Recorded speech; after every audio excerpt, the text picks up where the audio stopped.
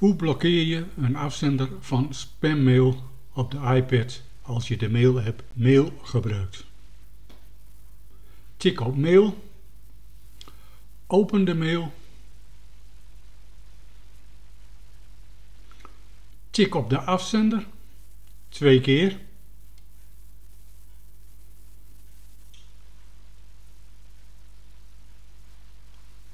En tik vervolgens op blokkeer deze contactpersoon.